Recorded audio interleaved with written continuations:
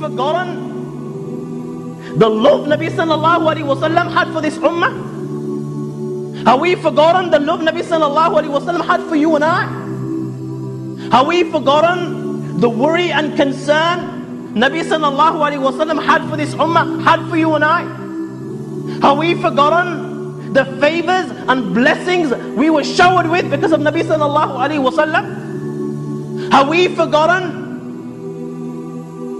the wounds that were inflicted on the person of Rasulullah wasallam because of this ummah, because of you and I? Have we forgotten the blood that came out of the blessed body of Rasulullah wasallam because of this ummah? Have we forgotten the tears that rolled down Nabi sallallahu alaihi wasallam's eyes and the tears he sallallahu alaihi wasallam shed because of this ummah? Today, we have forgotten the teachings of Rasulullah sallallahu alaihi wasallam Today we neglect the teachings of Rasulullah sallallahu alaihi wasallam. Today we have no value for Rasulullah sallallahu alaihi wasallam. We have no value for his sunnah. My brothers, today we neglect the rights of Rasulullah sallallahu alaihi wasallam. I ask you, did Nabi sallallahu alaihi wasallam ever forget you once?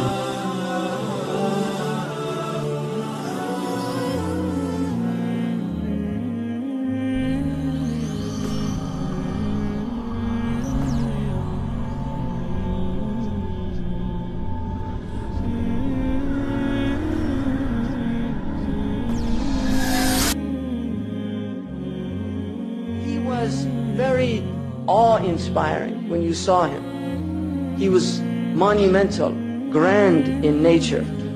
His face was like a moon on Laylat al-Badr that had a light coming out of it like the moon on Laylat al-Badr. He was taller than a, a moderate build, but not exceedingly tall. But he was of a middle stature inclining towards height because everything about him was middle everything. Even his physical description, his color was a middle color. Lam yakun amhaq. He wasn't pasty white and he wasn't black.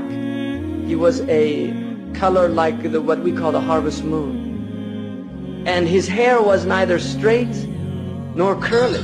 It was wavy. It was middle. Everything about him was middle. He didn't speak slow and he didn't speak fast. He spoke in a moderate tone. His words were neither too short nor were they excessive, but they were always just right. When he spoke, people felt as if exactly the right amount of words were used. Everything about him was moderation. He had a full head, and his, his hair was wavy. If he parted it, then it parted.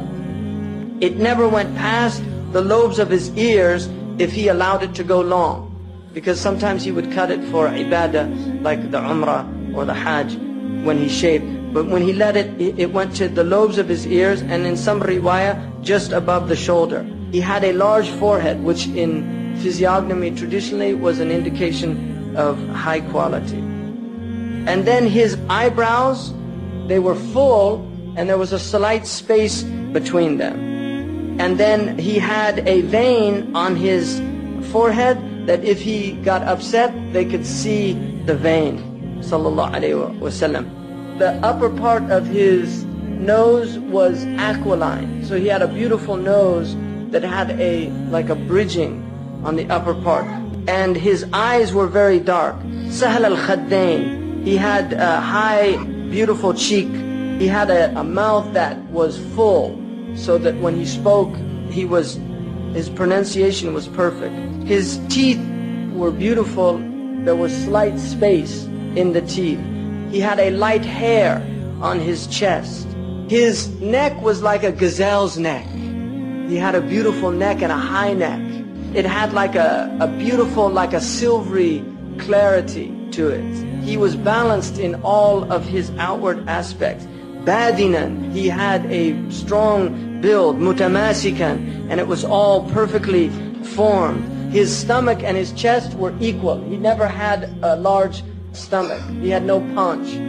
Even when he was in his uh, 60s, his stomach was always flat. Sallallahu alayhi wa sallam. Allahumma salli alayhi. He was full-chested and بعيد ما بين المنكبين. His shoulders were broad and he had a large bone. Also his trachea where it met there, There was space. And then he had a light hair also on his stomach. Thajjain, he had no hair over his breasts. He had hair on his arms and some on his shoulders and the upper part of his chest. And he was had large full hands and full palms and his feet were arched and he was sinewy and strong. Limbs were strong and he had full calves. But his feet were so smooth that water would pour off. Sallallahu alayhi wasallam. And then when he walked, he walked softly, quick-paced, as if he was walking on an incline. When he looked to somebody, he didn't just turn like this, he moved his entire body, sallallahu alayhi wasallam, to give full attention to that person. He looked more at the ground than he did uh, up. His, his glance was generally down because of the power of his glance. And then uh, most of his looking was mulahada. When he looked at people, he didn't maintain his stare. He would look and then move away. So as he looked at people, he never fixed his focus on people uh, because uh, of, of the effect that that would have on the people. He was always grief-stricken. What that means is that if you looked at him, like if you saw him in the mosque, sallallahu alaihi wasallam, if you saw him in the mosque and you looked at him, you would think that he was grief-stricken because the istighraq, his presence with his Lord was so intense that his face would have a sense of being completely absorbed in thought. He smiled. He always looked at people and smiled and made them feel joyful. He never made people feel depressed. He laughed at things that they laughed at. And Aisha said, كان مزاحا في البيت. He was always joking with us in the house. I joke, but I never tell a lie in my jokes. Always I speak the truth. A man came to me, he said, Ya Rasulullah, أعرني جملك. Let me borrow a camel. He said, أعطيك ولد ناقة. I'll give you a baby of a she camel. He said, what would that benefit me, a baby of a she? Because he wanted to ride it. He said, doesn't every camel, isn't that a baby of a she camel? Sallallahu alayhi wasallam. And then another time, uh, a woman, Ajuz, came up to him and said, Ya Rasulullah, أأدخل الجنة? Am I going to go to paradise? He said, لا تدخلن الجنة عجوز. Old women don't go to paradise. And she became so upset.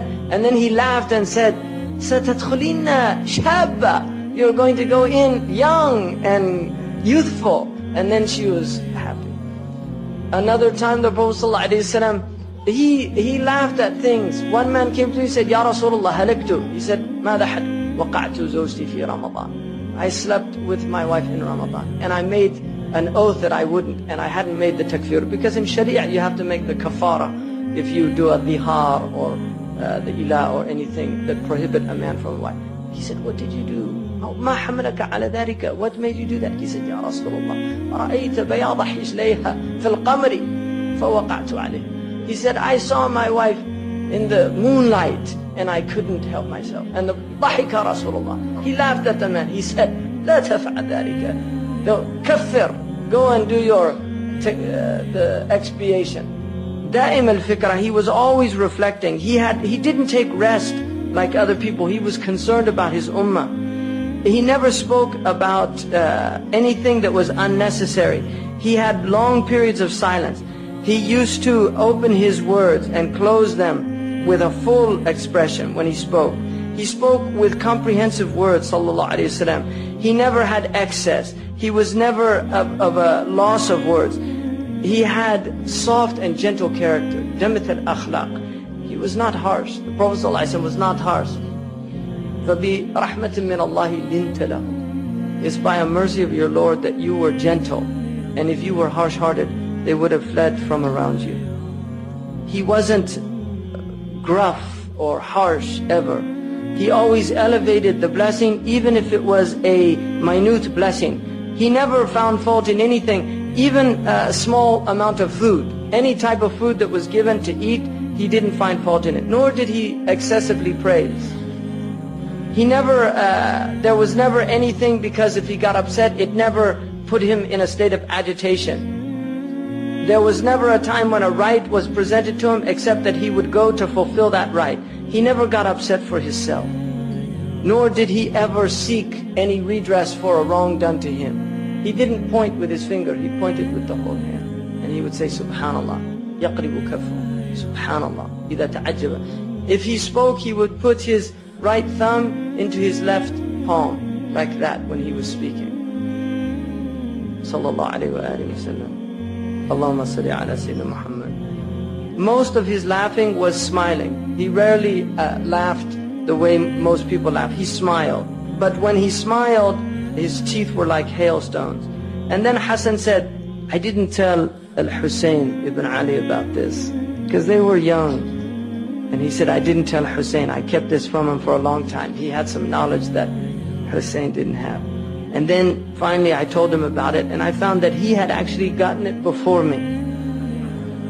And he would always occupy people in what benefited them and the ummah. And he would ask about them And he would ask about news about them. How are they doing and how so-and-so. And if كان يتفقد أصحابه. If somebody wasn't there, he would say, where's so-and-so? And the old woman who used to clean the, the masjid. She used to sweep the masjid out and one day she died, they buried her. And he came, he said, where's that woman that used to, she was a black woman. Where's the woman who used to sweep the masjid? They said she died, Ya Rasulullah. He said, why didn't you tell me she died?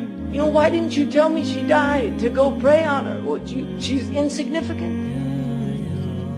And he would actually ask people, tell me, if you know anybody in need, come and tell me about them so I can help them. And then he told them that those people who help other people who are not able to go and get help, Allah subhanahu wa ta'ala will make firm their feet on the day of judgment. You know, take, looking after people, just taking care of people, this is all just, it's like just, he's just teaching people how to be human beings. I mean, that, this, this is all it is. You know, we're just learning how, is, it's like human beings don't know how to be human. You know, this is this is the whole point. It's, this is all just to teach you just to be human beings.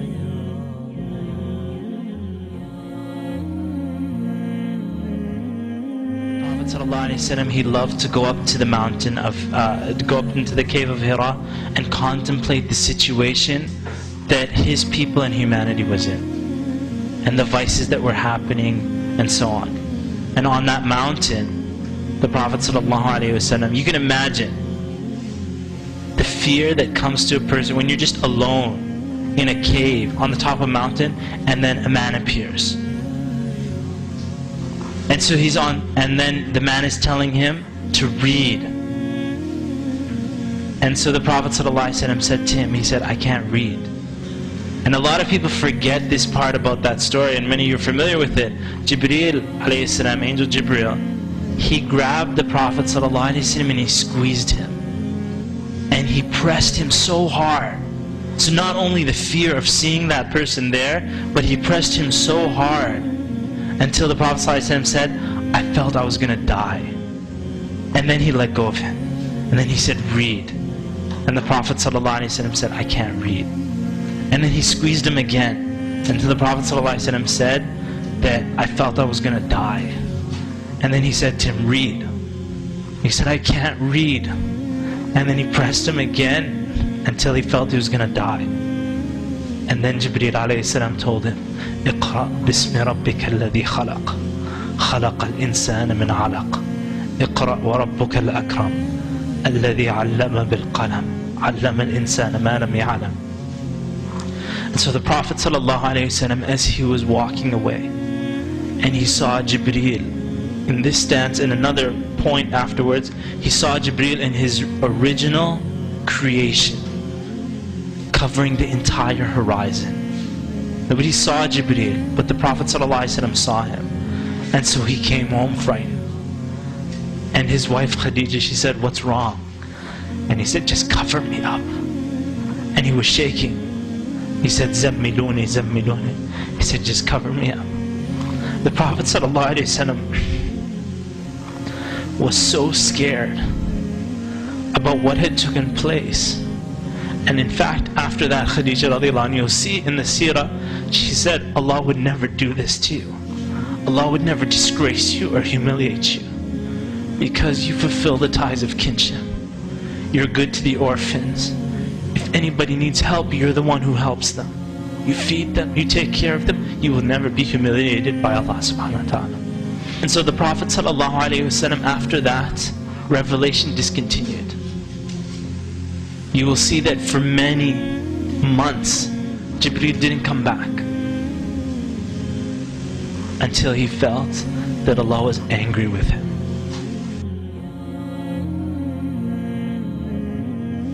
And so Allah subhanahu wa ta'ala revealed one of the first surahs to be revealed amongst after Surah Iqra. Allah subhanahu wa ta'ala received, uh, revealed Surah Al-Duha. وَالضُّحَى وَاللَّيْلِ إِذَا سَجَى مَا وَدَّعَكَ رَبُّكَ وَمَا قَلَى That Allah subhanahu wa ta'ala is swearing by the daybreak that He hasn't abandoned you and He's not angry with you. And so it's a preparation to prepare the Prophet ﷺ for the enormous tests that are about to come.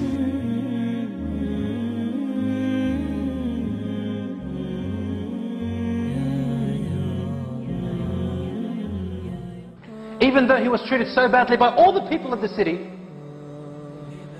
listen to this carefully, brothers and sisters. I have a very important message here. He never ever generalized. Every single individual was a potential Muslim and a potential good person. The Prophet, peace be upon him, has left us these words. He said, keep relations with those who cut you off. And do good to people, even if they harm you. And speak the truth, even if it is against yourself. If you met him, you will think that Muhammad loves you the most because of the way he used to treat every person individually with sensitivity and he used to analyze what is sensitive to you and avoid it until you would think that he loves you the most every single companion thought they were the most beloved and this way the Prophet ﷺ kept the unity of his companions and abolished, uh, abolish the jealousy and the hatred and the envy that could exist between them. So each one of them was a special character for him. And this is the way the Prophet ﷺ teaches us to deal towards one another, ourselves, and towards our children. Not to try and show the favorism of one to another. He said, I was amongst the crowd hustling and jostling and shoving to come and see the Prophet ﷺ. And he said, when I saw him, the first impression I had of him, he said, I knew that his face was not the face of a liar. This is not a man that told lies. In other words, the honesty and the beauty, the inner beauty and the outer beauty combined. Abdullah ibn Salam saw this from the Prophet ﷺ and he said he accepted Islam right then and there. In other words, Abdullah ibn Salam converted just by seeing the Prophet ﷺ and then hearing the very first words that came out of his mouth. Such was the power, such was the beauty, such was the perfection that Allah subhanahu wa ta'ala blessed our beloved Prophet ﷺ with. So he used to say to them, Behold, we have been sent a people to take the people from the worship of created things to the worship of the creator of all things and to save the people from injustice into the openness and mercy of Islam and to bring justice to the earth. Do not kill an old man of your, amongst your enemies if he is not fighting you. Do not kill a woman who is not fighting you. Wallahi, even she is in the ranks of the enemies. Do not kill a child. Do not cut off the branches of trees. Do not kill an animal. And do not ruin soil. And do not be excessive in killing. Do not mutilate the bodies and look after the affairs and the conditions of war. And if you hold captives out of this war, then feed them from what you feed from your, your family. And treat them well as you would treat a guest. For they are your captives and you have power over them. And Allah does not like people who have oppression over the weak ones when they have power over them.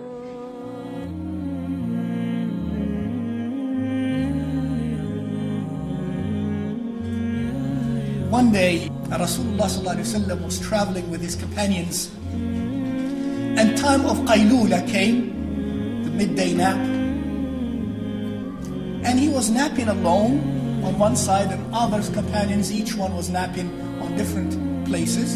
At that time, the mushriks were very hostile against them. Suddenly, Rasulullah while laying down, um, excuse me, a mushrik by the name of Ghawrath ibn al-Harith, holding the sword at the neck of Rasulullah sallallahu. And it says, Ghawrath, Man yamna'uka minni now. Who is going to save you from me now? Rasulullah sallallahu alayhi wasallam with the peace of a messenger of Allah said, Allah! And the sword fell from the hand of the mushrik.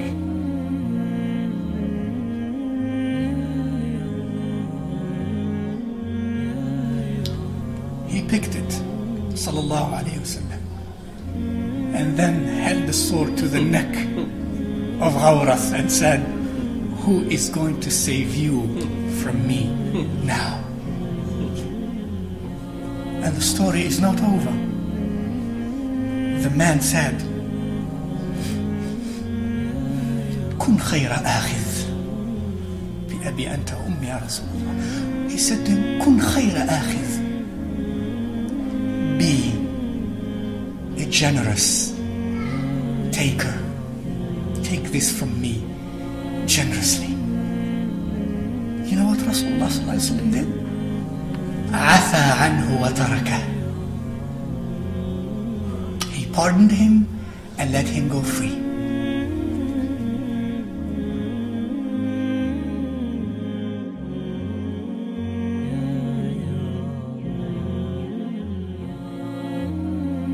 So they used to say to the, to the companions to Rasulullah sallallahu Salamu alaykum, fast becoming Salamu alaykum, and they mean death be upon you. And the companions knew that, and Rasulullah knew that. That was, they were hostile tribes, some of them. So he was walking with Aisha, one of them passes and says, Salamu alaykum. And Rasulullah answered, Wa alaikum, and upon you. It's not laughing, wallahi. It's, but Aisha radiallahu ta'ala anha, who was with Rasulullah sallallahu says, وعليكم السام وغضب الله عليكم ولعنكم وأعد لكم عذابا عظيما something like that. Then Aisha radiallahu ta'ala replied, and may death be upon you and the anger and the wrath of Allah Azza wa Jal. She was hurt. And that's Rasulullah sallallahu alayhi wa sallam. Not just her husband. No, that's Rasulullah sallallahu alayhi wa sallam. And then, subhanAllah, in this occasion, Rasulullah sallallahu alayhi wa sallam, هذا, this, this ocean of peace, subhanAllah, he says to Aisha, مهلا يا عائشة مهلا يا عائشة In other words, like what? Take it easy, Aisha. مهلا يا عائشة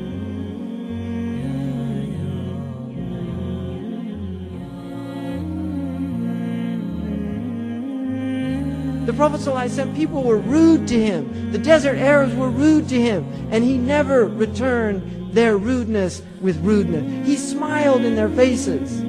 He returned their bad manners with good character. And this is what he taught us to do with people. Patience. When, when the, the woman who was in the graveyard and, and, and she was mourning over, and the Messenger of Allah passed by her and he, and he said, that uh, this is a musibah and you should be patient. And she said, you didn't have the tribulation that I had. That's how she answered him. And he just left her. Now look at the character there. He didn't say, don't you know who I am? I'm the messenger of Allah. You can't talk to me like that. He didn't say that. He saw she was mus- she musab. She was in tribulation. He left her to be in her tribulation. He gave her nasiha and she didn't accept it, but he recognized her psychological state. She was in a state that it was not useful or beneficial to continue with her, and so he left her. I, this is wisdom. This is hikmah. And then he went to his house, and somebody came by, and he and, and he said, "Don't you know who that was? That was the messenger of Allah." Suddenly, remorse entered her heart. Astaghfirullah. And she went to his house and knocked on the door. Ya Rasulullah, I didn't know it was you. Patience that Allah wants is at that point That's the point. Allah does not want you to lose control. To forgive your brother for Allah's sake. To forgive your sister for Allah's sake. Not for them. To do it for Allah subhanahu wa ta'ala. Really. There's people in here that haven't talked to their brother or their sister or some of them to their mothers and their fathers. Don't be that person. Don't cut off your bloodship bonds. Don't be that person. Do it for the sake of Allah. And a man came to the Messenger of Allah. He said, Ya Rasulullah, أصل أخي ويقطعني أعطيه ويمنعني أواصله ولا يواصل I give him, he withholds. I come to him, he cuts me off. What should I do? He said, that is Sidat al-Rahm. That what you're doing is the right thing and continue to do it even though he's cutting you off. That's Islam. That's Islam. And it's hard. Don't think this is an easy religion.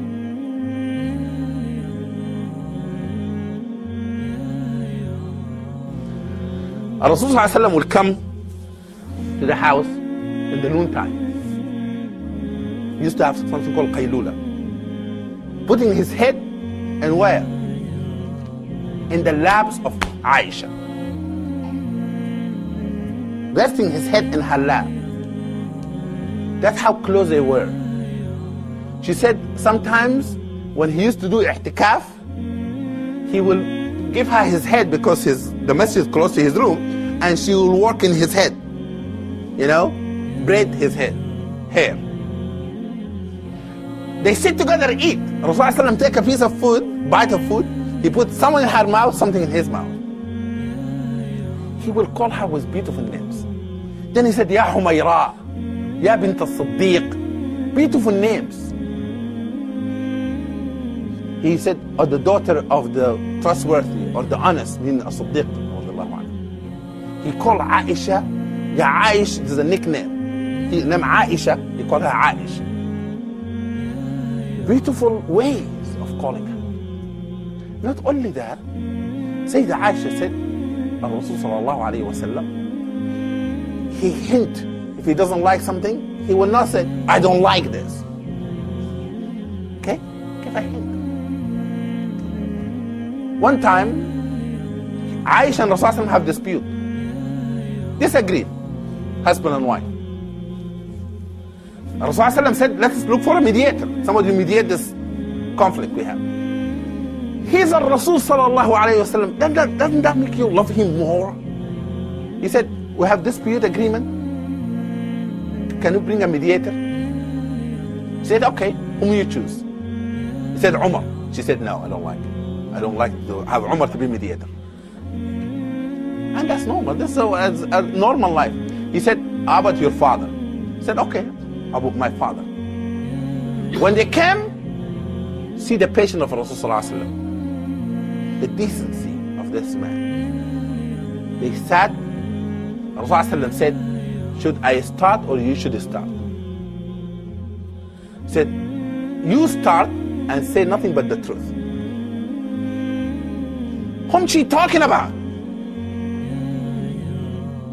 She's about the Rasul sallallahu alayhi wa sallam. Abu Bakr get angry. He jumped on jumping on his daughter said, وهل هل يقول إلا الحق يا شقية?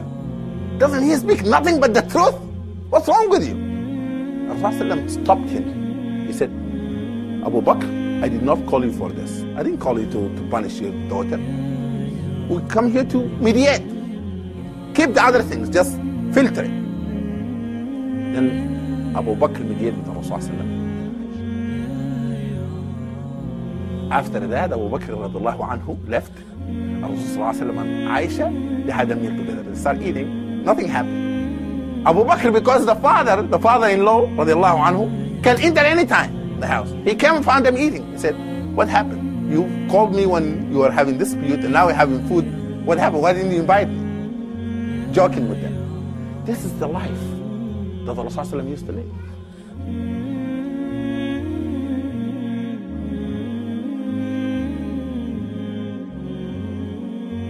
You look into the love that the Sahaba radiallahu anhum had for the Prophet sallallahu alaihi wasallam. Every Sahabi radiallahu anhum mentioned that when we were in the company of the Prophet sallallahu alaihi wasallam, we actually felt that we were the closest person to him. This is the love that he would show. When he would shake their hand, there was no man who was more busier than the Prophet ﷺ. But when he would shake their hands, he would not release it until they pull their hands back. When he would speak to them, he would turn totally towards them. And this is why the Sahaba radiallahu loved the Prophet sallallahu alayhi wasallam. When Khubayb ibn Adi radiallahu anhu was captured by the mushrikeen and he was brought to the outskirts of Mecca and this is approximately where Masjid Aisha is today. And they wanted to kill him slowly. So they began to cut his flesh. And then they began to pierce him with their swords and their spears. And whilst he was going through this excruciating pain Abu Sufyan who was not a Muslim at the time came to him. And he said, Oh Khubayb, don't you prefer that Muhammad was in your place and you were in the comforts of your home? And whilst he was going through this pain, he said, I swear by Allah, and it's easy for me to say it and it's easy for you to listen. He said, I swear by Allah, death is easier for me than a thorn prick the Prophet sallallahu alaihi wasallam. And the Prophet ﷺ was sitting in Medina whilst it was going on. And then Khubayb asked them, could he read two rakats? And they allowed him to pray two rakats. And whilst he, when he finished, he turned toward the mushrikeen and he said, I prayed two very short rakats because I didn't want you to think that I was scared of death. And then he supplicated to Allah. He said, Oh Allah, we believed in the Prophet sallallahu, we believed in you and we follow the precept of the Prophet ﷺ. Now convey my salams to the Prophet ﷺ And the Prophet ﷺ was in Medina and Osama bin Zayd radiallahu anhu was sitting next to the Prophet ﷺ. And he said, all of a sudden, I saw the eyes of the Prophet ﷺ well up. I, say his, I saw his tears begin to flow. And he said, Khubayb has just sent his salams. But it was on this occasion that Abu Sufyan, when he heard the reply of Khubayb, that death is easier for me than a thorn prick the Prophet wasallam, that it was on this occasion that Abu Sufyan said, I have sat with the emperors of Persia, and I have sat with the emperors of Rome, and I've seen the way their followers love them, and I've seen how Muhammad's followers love him, and I swear by Allah, the followers of the Roman and the Persian emperors don't love them like Muhammad's followers love him sallallahu alaihi wasallam. He was an object worth loving and this is why when the Prophet peace be upon him came to Medina he would give his Jummah khutbah leaning upon a tree trunk and then a lady came to him and she said I have a slave who's a very good carpenter. If you wish, I will ask him to make a pulpit for you. And he agreed. And, the, and he came the next week and he ascended the pulpit. And they say, when he ascended the pulpit, and that the tree trunk, some narration mentioned that it began to shake like it was about to explode. Other narration mentioned it was like a she-camel whose child had been dragged away from it. Others mentioned it was like a small child who had lost his parents. Others mentioned that it was like cried and it screamed like a mother, like a she-camel when she's giving birth. And the Prophet, peace be upon him, descended from the pulpit and he embraced it and the sobbing slowly stopped. And then it gave it an opportunity and a choice to be a tree in Jannah from which the awliya and the sulaha eat from its fruits. And they chose to be a tree in Jannah. When they migrated, where Abu Bakr entered into the cave, and he wanted to clean it up, and he saw a number of holes, and he took off his garment, shredded it into small pieces, and he put, filled the holes. And then he requested the Prophet ﷺ to come in. And the Prophet came inside. And then he lay on his flat thigh. And then there was one hole which he had no garment left for. So he stuck his foot upon it. And in that, in that hole there was a snake. And it bit the foot of Abu Bakr radiallahu anhu. Can you imagine the pain? And he was going through this pain and he didn't want to wake up his beloved. And then the tears began to flow down his cheeks and they fell on the blessed cheek of the Prophet ﷺ. And then the Prophet ﷺ woke up and he saw what Abu Bakr was going through and he took his saliva and he placed it upon his foot and it was as though he had never been bit by a snake when everybody else crumbled and Abu Bakr remained firm you know, you, you know why I often say that whilst everybody else was rejoicing, Abu Bakr radiallahu anhu was crying. When the verses of Surah Nasr, إِذَا جَاءَ نَصْرُ اللَّهِ were revealed, when the help of Allah will descend, and you will see people entering into the deen upon army upon army. The Sahaba were rejoicing. The help of Allah is going to come. The conquests are going to come and Abu Bakr radiallahu was sitting in the corner crying.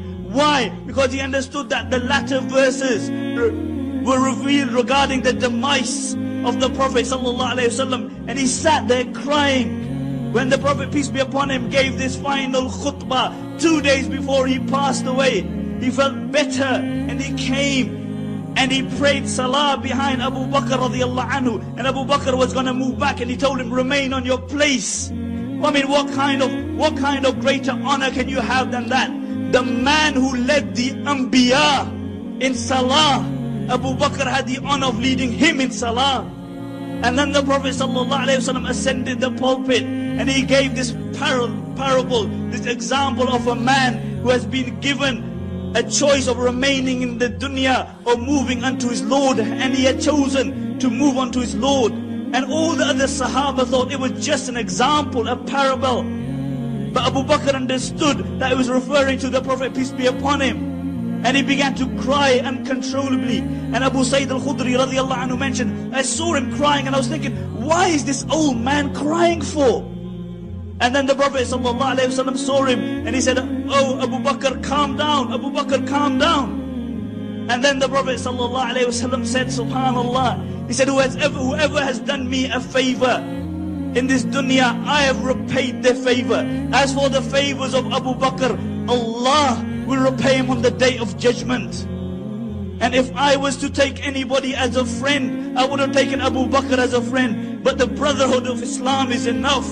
And then he said, all the doors to the masjid should be closed. Illa khawkhata Abi Bakr, besides the door of Abu Bakr radiallahu anhu. And the day he passed away, this was the day Umar radiallahu anhu was referring to. Abu Bakr radiallahu came into the masjid. You could imagine the state of the Sahaba. The Prophet sallallahu said, if anybody is ever afflicted with a calamity, then remember my death because it will dwarf any other calamity. And you have to be amongst those people who live with the Prophet ﷺ to really understand what he meant. And Abu Bakr radiallahu anhu had cried his crying. So when the Prophet ﷺ passed away, he came into the masjid, he passed through the masjid, and the blessed body was lying in the house of Aisha radiallahu anha, the daughter of Abu Bakr. And he came into the house and he removed the sheet from the blessed face of the Prophet ﷺ and he kissed him upon his forehead and he said, Tibta hayyan wa mayyitan ya Rasulullah. He said, Oh Messenger of Allah, you are beautiful in life and you are as beautiful in death.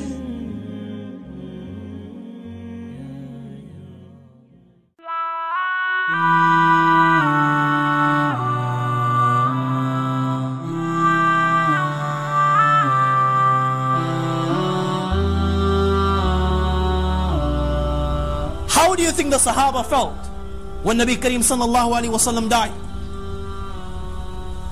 What do you think that they went through? When a member of our family dies, how do we feel? The closer the member, the more we feel. Some of us don't even know whether it's day or night. This is how sad we are. And it is only natural to be sad at the time of death and at the loss of one's close ones. How do you think the Sahaba felt when Nabi Kareem wasallam died? Because this was not the death of an ordinary man. It was the death of the best of creation. It was the death of that person. Okay, they could not even tolerate separation from him, not even for a second. The one they loved more than themselves, their family, their children, everything. Now, bearing this in mind, I want you to tell me, how do you think that these people felt when Nabi alaihi wasallam left this world? This is why when we pick up the books of Ahadith and the books on Sirah and Tarikh, we find Hazrat Uthman Ghani radiallahu ta'ala anhu is motionless. There is no harakat whatsoever. There is no ah. movement. He does not know what has happened. Hazrat Ali there and then falls unconscious. The general Sahaba are saying, Wallahi wadidna anna mitna qabla. Only if Allah had not shown us this day. Only if we had died before this. This was the general situation of the Muslims. Now look at the situation of Sayyidina Abu Bakr radiallahu ta'ala anhu. Ah, ah. This is Abu Bakr. When this is happening all around him, and this event has torn the Sahaba. And they have lost their patience and their tolerance. He comes. It is the last day. Nabi Kareem Sallallahu Alaihi Wasallam told him to lead the prayer. He has led the believers in prayer. And then he comes and he takes permission from Nabi Kareem Sallallahu Alaihi Wasallam. He takes leave for a short while. He makes his way to his home in Sunh and he fulfills the need of his family. And then as he is returning, he hears the news. كَإِنَّ رَسُولُ صَلَّى اللَّهِ وَسَلَّمْ قَدْ مَاتْ that the messenger of Allah is no more. Saddened, tears begin to flow from his eyes. And the words that are flowing are Inna lillahi wa inna ilayhi raji'un that we all belong, to the Almighty Allah and to the Almighty Allah subhanahu wa ta'ala we will return he makes haste he hastens only to realize that this news and this event has done damage and it is and it has tore, tore the Sahaba apart to such an extent that the one that they considered the strongest from amongst them the one from whom even the devil would run away he is standing with a sword in his hand and he is saying that the hypocrites claim that Nabi Kareem sallallahu alayhi wasallam has died. Wallahi ma mat. By Allah he has not died. ولكنه ذهب إلى ربه كما ذهب موسى بن إمران. But he has gone to meet his Lord. Just like Sayyidina Musa alayhi salatu wasalam went. And the messenger of Allah will return. And he will cut the hands and the feet of those people that are making these claims. By Allah, if Umar hears anyone saying that Nabi Kareem wasallam has died, Umar will sever their heads from their body. Umar will kill them. Now if this was the situation of the strongest from amongst them. What do you think was the situation of the general Sahaba and those that had soft hearts and those that were considered weak from amongst the Sahaba radiallahu ta'ala? Intellect, Akal says that if in this situation the likes of Abu Bakr broke, broke down, it would have been justified. Why? Because he was the one that was loved by Nabi Karim sallallahu alaihi wasallam the most. When he sallallahu alaihi wasallam was asked, "Ayun nasi ahabu ilayk?" The words that flowed were that I love Abu Bakr the most. He loved Nabi Karim sallallahu alaihi wasallam the most. He was the one that was with Nabi Karim sallallahu alaihi wasallam in childhood. He was the one that was the first to believe in Nabi Karim sallallahu alaihi wasallam. He was the one that embraced him and that accepted him when all others rejected him. He was the one whose house Nabi Karim sallallahu alaihi wasallam, whose house Nabi Karim sallallahu alaihi wasallam would visit every morning, every evening. He was the one who Nabi Karim sallallahu alaihi wasallam would consult. He was the one that stayed with Nabi Karim sallallahu alaihi wasallam in every delicate moment. He was with him in Uhud. He was with him in Badr. He was with him in Khandaq. You name it. He was with Nabi Karim sallallahu alaihi wasallam. If in a situation like this, Sayyidina Abu Bakr radiallahu ta'ala broke down, it would be justified. But look at Abu Bakr radiallahu ta'ala. He comes. He takes permission from his daughter Aisha radiallahu ta'ala anha. He enters her house. Nabi Karim sallallahu alayhi wasallam is lying in one corner, covered with cloth. He comes and he uncovers the cloth and he kneels down and he begins to kiss the blessed face of Rasul sallallahu alayhi wasallam with tears flowing from his eyes. And then he says, ليس ما يقول ابن الخطاب شيئا توفي رسول صلى الله عليه وسلم what Ibn al-Khattab is saying is wrong. Nabi Karim sallallahu alayhi wasallam has left the world. Nabi Karim sallallahu alayhi wasallam has died. Rahmatullah alayka ya Rasulullah ma atibuka hayyan Allah's blessings be upon you, O Messenger of Allah. Saying this, looking at the delicate situation and looking at the Sahaba and the Muslims, he leaves and he makes his way to the masjid and he delivers a sermon to strengthen the Muslims and to console them and to bring them back. And he tells the Sahaba, O my companions, Nabi Kareem sallallahu alayhi wasallam had informed you that he was going to leave this world. Allah had informed you that Nabi Kareem sallallahu alayhi wasallam was to die. When Nabi Kareem sallallahu alayhi wasallam was alive, whilst he was amongst you, Allah also told you that you are also to die. Did Allah subhanahu wa ta'ala not say, وَمَا مُحَمَّدٌ إِلَّا رَسُولٌ قَدْ خَلَتْ مِنْ قَبْلِهِ الرُّسُلُ أَفَإِنْ مَاتَ أَوْ قُتِلَ انْقَلَبْتُمْ عَلَى أَعْقَابِكُمْ وَمَنْ يَنْقَلِبْ عَلَى عَقِبَيْهِ فَلَنْ يَضُرَّ اللَّهَ شَيْئًا وَسَيَجْزِي اللَّهُ الشَّاكِرِينَ إِنَّكَ مَيِّتٌ وَإِنَّهُمْ مَيِّتُونَ You are to die, they are to to die. كل من علي فان ويبقى وجه ربك ذو الجلال والإكرام. Everything will come to an end. Only your Lord will remain. كل نفس ذائقة الموت. Every soul will test. Will, every soul will, will, will, will taste death. O people, whoever worship the Almighty Allah, فإن الله حي لا يهلك. The Almighty Allah is alive. لا يموت. The Almighty Allah does not die. Whoever took Muhammad sallallahu alaihi wasallam as his Lord, then Muhammad sallallahu alaihi wasallam remains no more. Fear the Almighty Allah and grab hold of your deen. It is only after this sermon do the, do the Sahaba radiallahu ta'ala majma'een come around to the extent that the likes of Umar, when he, Abu Bakr, recited the verse of the Quran, وَمَا مُحَمَّدٌ إِلَّا رَسُولٌ unto him, Sayyidina Abu Bakr, Umar radiallahu ta'ala says, it was like as if this word, verse of the Quran had not been revealed prior to this.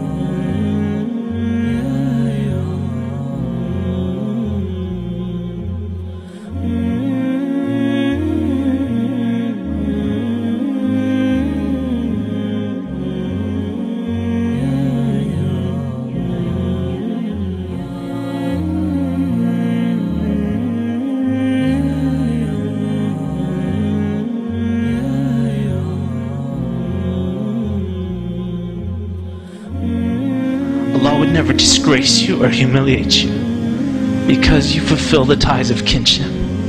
You're good to the orphans. If anybody needs help, you're the one who helps them. You feed them, you take care of them, you will never be humiliated by Allah subhanahu wa ta'ala.